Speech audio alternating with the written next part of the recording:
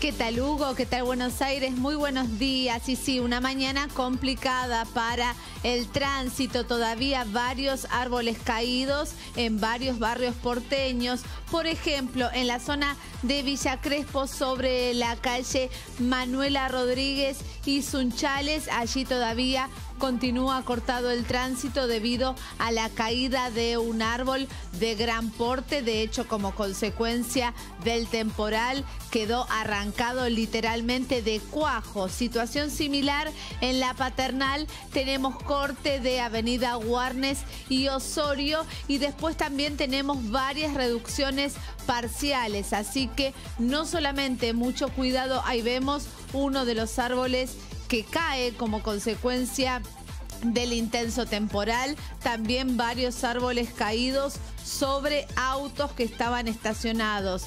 Realmente una jornada muy difícil, caótica en eh, todo el área metropolitana y en lo que respecta a nuestra ciudad. Este es el cuadro de situación, todavía trabajando personal de emergencias de la ciudad de Buenos Aires, pero bueno, lamentablemente hoy nos despertamos con este panorama todavía con varias calles que continúan cortadas. Avanzamos en la información y vamos a ver cómo está la situación en los ingresos a la ciudad.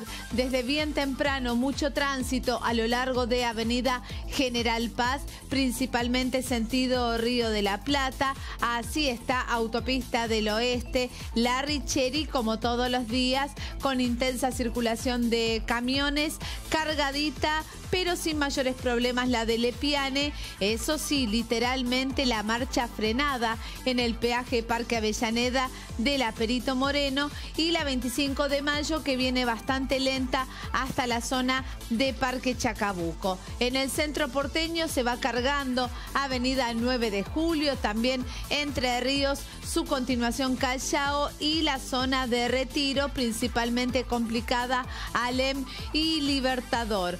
Ojo para los usuarios del buquebús porque hubo una falsa amenaza de bomba. Lamentablemente, estas situaciones que se repiten, allí estuvo trabajando la brigada antiexplosivos de la mm. prefectura naval, así que llevamos tranquilidad para todos aquellos que tenían eh, programado un viaje. Y a propósito de viaje, vamos a repasar la info de los trenes, lo que tenés que saber antes de salir de casa. La línea Mitre está con servicio interrumpido, ramal a Bartolomé Mitre y a Tigre, ramal a Suárez no se detiene en la estación Carranza, todo como consecuencia del temporal y varios árboles y ramas que cayeron sobre las vías.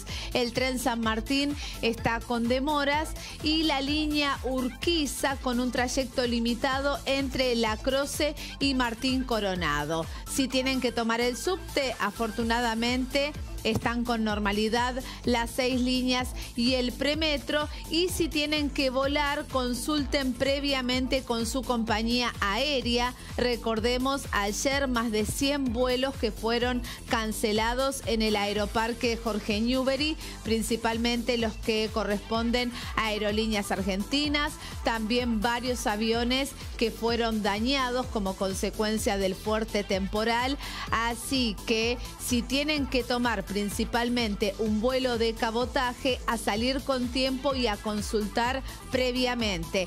Eh, Seiza está totalmente mm. operativo, Hugo. Muchas gracias. Hasta luego.